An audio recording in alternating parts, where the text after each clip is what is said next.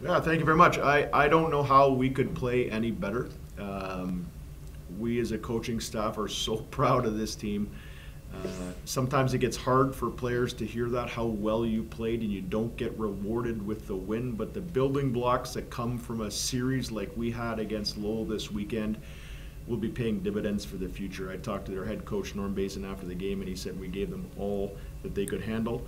Um, a miscue or two in the game, and the cost for us was a goal against. I think that Tyler Harmon showed what a great goalie he is, how hard it is for a goalie to stay so sharp in practice and to be able to come back and take, you know, nine or ten grade A scoring chances again. So uh, I know it's not the points that we needed.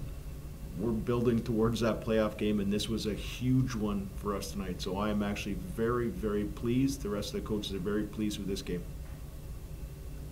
Patrick, it's your first time, first time on the bench uh, up here at Vermont. How it feel? Uh, what did you what you take away from the team over this, these past two games? Yeah, it was exciting. It was um, it was a huge honor to be reconnected with the University of Vermont. I'm thankful that that Woody reached out to me to have me be a part of it. Um, was on the ice earlier in the week as a coach for the first time in my life, and uh, it's a great feeling to be a part of a team. Been uh, member of a team my entire life, and um, being out of the game for the last four years, uh, it feels nice to be back wearing the Vermont colors.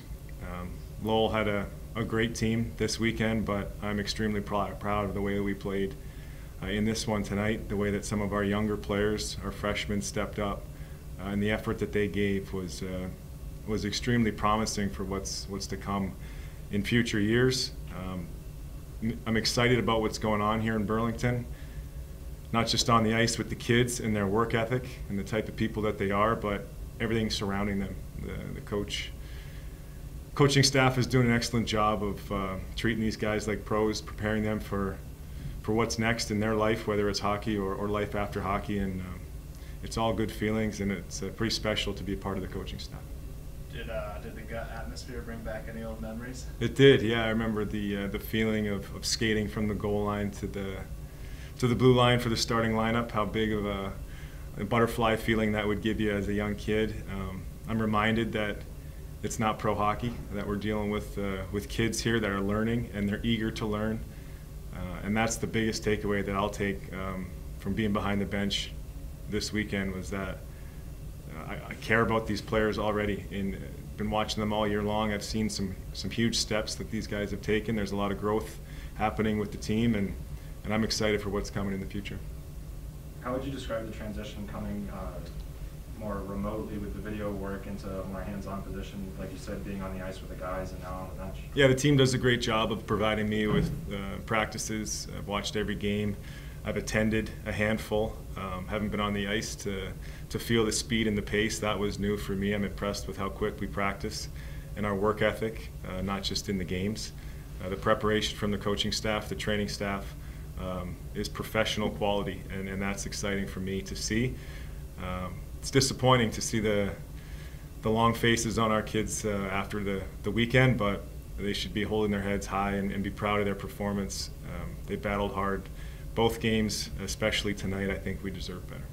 One last question for Coach Woodcroft. Uh, battled back well, I think, in the first. Uh, we kind of had some momentum going there. Uh, how do we keep this energy um, we have a big break coming up, coming back on the 30th of this month. Uh, how do we get the guys keeping that momentum going? We're right back to work on Monday. So even though there's a you know an academic break for, for studies and for exams, uh, we're planning practices around exam time so the players have access to uh, ice time uh, all the way through until Friday. Uh, we have high expectations of these players to stay in shape this is also an opportunity then for to show what they think of themselves. So when they come back on the 26th and or the 25th, uh, we're practicing the day after Christmas, and they better be in shape. Uh, that's incumbent on the players. So it will say more about what they think of themselves and what they think about the team if they come back and they're not ready to, to skate. I don't expect that to happen at all. I think the energy that we had, uh, and Patrick was actually a big part of that this week to come in. We injected some new ideas. I think the fact that Patrick knows every single player on this team's name or nickname and has had a personal connection with each of them, even just sitting next to Patrick and hearing him say, our kids, like that gives me energy. That that gives me some positive feelings about the way this thing is going. Um, and I know that that's going to be something these guys take with them. Even Patrick had a chance to talk to the team at the end of the game, and, and uh, he talked about their long faces. But it's kind of cool for them to look up and see a UVM alum. Uh, a, we call him a TV personality, not an ex-NHL player here. He's just now he's just a, a broadcast guy. So we won't talk about his hockey career. So it's nice for them to see that and know that we care about him. But we're going to be at work tomorrow morning on Sunday, going over this game, and then we're going to be ready to go back to work again on Monday. Can I say one last thing, CJ? I know this is uh, Ange uh, Martinez's uh, last week covering uh, UVM athletics and all things in Burlington. And, and uh, just for Ange, I was hoping that she would be here and we could say thank you to her specifically for all the coverage that she's given us. And to good luck to her in California.